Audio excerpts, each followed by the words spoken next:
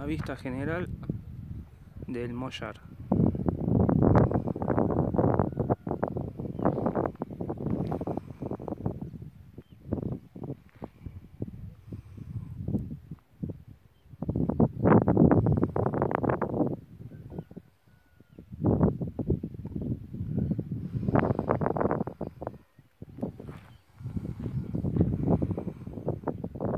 Me quedo a vivir acá.